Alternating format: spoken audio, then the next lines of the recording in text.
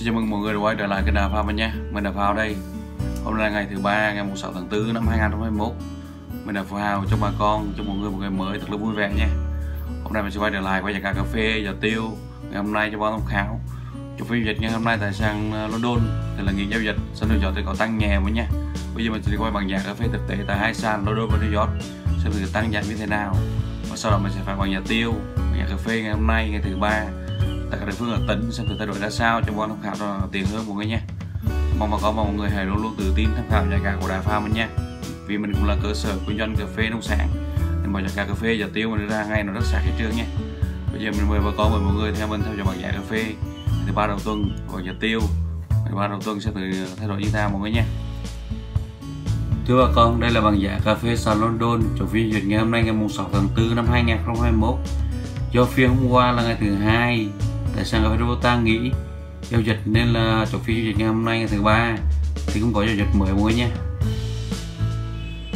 Thưa bà con, đây là bảng giá cà phê Sun New York cho phiên dịch ngày hôm nay ngày 6 tháng 4 năm 2021. Tại sàn cà phê Arabica có tăng mọi nha. Giá cụ thể là kỳ hạn nhau ngày tháng 5 và kỳ hạn nhau ngày tháng 7 đều tăng 0,50 cent kỳ hạn nhóm ngày tháng 9 thì tăng 0,55 cent kỳ hạn nhóm ngày tháng 12 tăng 0,60 cent mới nha Vậy là chủ phiên giao dịch ngày hôm nay tại sao London thì nghi giao dịch. Sân New York thì có tăng. Bây giờ mình sẽ quay bằng giá cà phê thực tế tại cả tỉnh Tây Nguyên. Sẽ thì mua lên mua xuống như thế nào. Và sau đó mình sẽ phạt bằng giá tiêu ngày hôm nay cho bọn tham khảo. Thì đưa ra cuộc đời mua bán nha.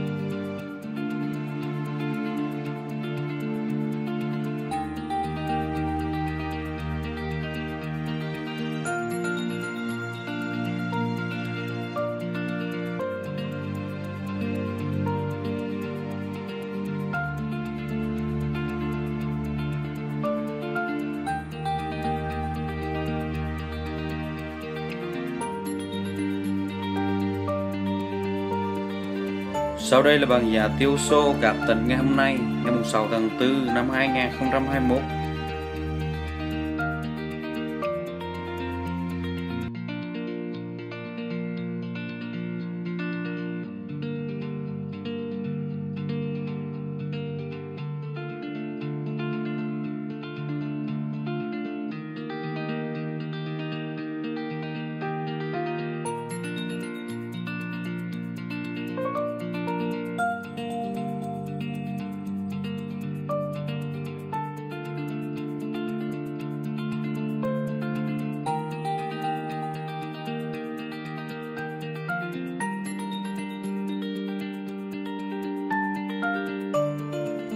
Sau đây là bằng giá cà phê, giá tiêu tại địa phương của mình là xã Phú Lộc, huyện Crong Răng, Đắk Lắk ngày hôm nay, ngày 6 tháng 4 năm 2021.